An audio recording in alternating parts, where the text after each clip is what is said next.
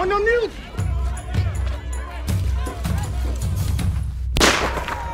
Thank you for coming out this evening to celebrate. And here's Robert Powell, the chairman of Forshaw Exploration. Another company has commenced exploration, oil exploration, exploitation. That projects to over $300 million annually.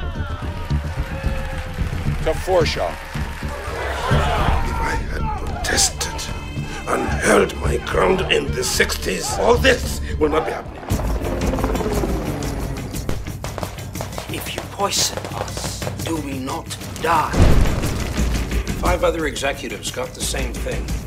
When I founded Forshaw, I set out to be different in the Niger Delta. You will regret it! Murderers! Murderers! And if you wrong us, do we not revenge?